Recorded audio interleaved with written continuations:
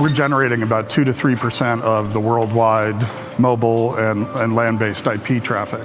We've got all of our source code, all of our models, all of our animations, all of the assets are all being run on top of Linux. We love the performance, we love the reliability and robustness of it. I love the Steam announcements. That's an opportunity to maybe really help the desktop.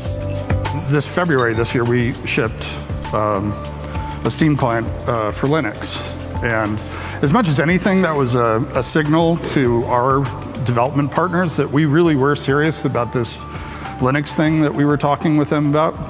And now today we have 198 games that we're running on, on Linux.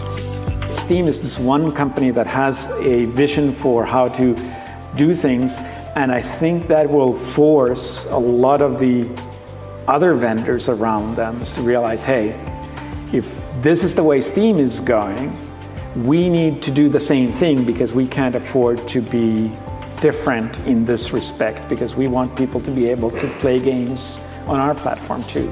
We've seen tremendous evolution and innovation in the open space. We think that that process is going to continue, and we think that we need to be knocking down as many barriers and reducing friction, not going in the other direction.